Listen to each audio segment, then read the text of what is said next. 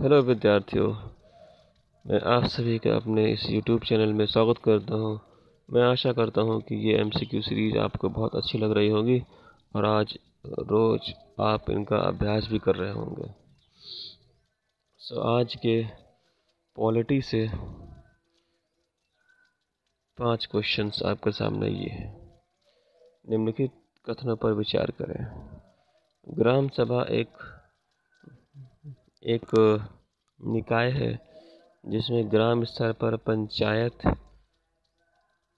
के क्षेत्र में शामिल किसी गाँव की मतदाता सूची में पंजीकृत व्यक्ति शामिल होते हैं। विधान परिषद के सदस्य के रूप में चुने जाने के लिए एक व्यक्ति की आयु 25 वर्ष से कम नहीं होनी चाहिए। इनमें से कौन सा कथन उपरोक्त है? दूसरा सवाल, निम्नलिखित कथनों पर विचार करें।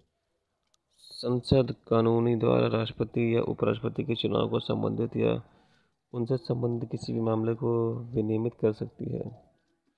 राष्ट्रपति या उपराष्ट्रपति के चुनाव से उत्पन्न होने वाले सभी संदेह और विवादों की जाँच द्वारा निर्णय भारत के चुनाव आयोग द्वारा किया जाता है और वही फैसला अंतिम होगा।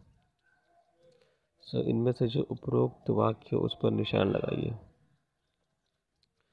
अगला सवाल। किसी राष्ट्र का संविधान किन उद्देश्यों की पूर्ति करता है?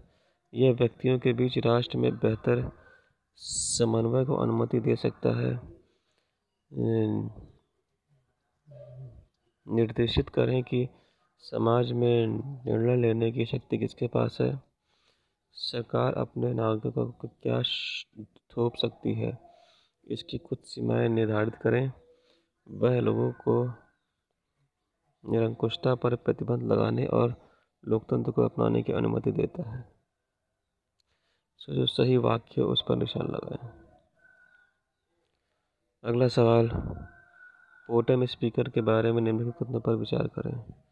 संविधान का अनुच्छेद 180 राज्यपाल को पोटम स्पीकर नियुक्त करने का अधिकार देता है। अस्थायी अध्यक्ष की शक्तियाँ निर्वाचित अध्यक्ष की शक्ति के साथ वह विस्तृत नहीं होती हैं। और आज का आखिरी सवाल। भारत के सभी उच्च न्यायालयों का क्षेत्रीय क्षेत्राधिकार एक राज्य तक ही सीमित है, जब से आपराधिक मामलों में संबंधित मामलों से निपटते हैं तो जिला न्यायालय सत्र न्यायालय के नाम ग्रहण कर सकते हैं। इनमें से जो उपरोक्त वाक्य उस पर निशान लगाइए